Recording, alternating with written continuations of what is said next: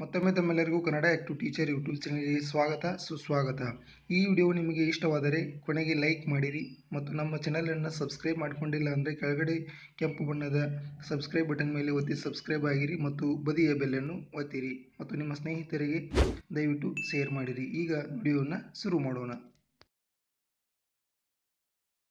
ಶಾಲೆಯಲ್ಲಿ ಮಕ್ಕಳು ಪಾಠದ ಕಡೆಗೆ ಗಮನ ಹರಿಸುತ್ತಿದ್ದಾರೆಯೇ ಇಲ್ಲವೇ? ಅವರು ಪ್ರಗತಿ ಸಾಧಿಸುತ್ತಿದ್ದಾರೆಯೇ ಇಲ್ಲವೇ ಎಂಬುದನ್ನು ಗುರುತಿಸಲು ಫೇಸ್ ರೆಕಗ್ನಿಷನ್ ವಿಡಿಯೋ ಪ್ರೊಸೆಸಿಂಗ್ ಹಾಗೂ ಇಮೇಜ್ ಪ್ರೊಸೆಸಿಂಗ್ ಬಗೆಯ ಬಗ್ಗೆ ಭಾರತ ಮತ್ತು ಸಿಂಗಾಪುರದ ವಿದ್ಯಾರ್ಥಿಗಳು ಸಂಶೋಧನೆ ನಡೆಸುತ್ತಿದ್ದಾರೆ. ಇಂಡಿಯಾ ಸಿಂಗಾಪುರ್ ಹ್ಯಾಕಥಾನ್ ಅಡಿಯಲ್ಲಿ ಈ ವಿದ್ಯಾರ್ಥಿಗಳ ತಂಡ ಸಂಶೋಧನೆ ನಡೆಸುತ್ತಿದ್ದು, ವಿಜೇತರಾದರೆ ಈ ವಿದ್ಯಾರ್ಥಿಗಳು ಪ್ರಧಾನಿ ನರೇಂದ್ರ ಮೋದಿಯವರಿಂದ ಪ್ರಶಸ್ತಿಯನ್ನು ಪಡೆಯಲಿದ್ದಾರೆ. ಒಂದು ತಂಡದಲ್ಲಿ ಆರು ವಿದ್ಯಾರ್ಥಿಗಳು, ಈ ತಂಡದಲ್ಲಿ ಭಾರತ ಹಾಗೂ ಸಿಂಗಾಪುರದ ತಲಾ ಮೂರು ವಿದ್ಯಾರ್ಥಿಗಳಿದ್ದಾರೆ. ಇದೇ ರೀತಿ ಇಪ್ಪತ್ತು ತಂಡಗಳಿವೆ. ವಿವಿಧ ವಿಷಯಗಳ ಮೇಲೆ ಈ ತಂಡಗಳು ಕೆಲಸ ಮಾಡುತ್ತಿವೆ.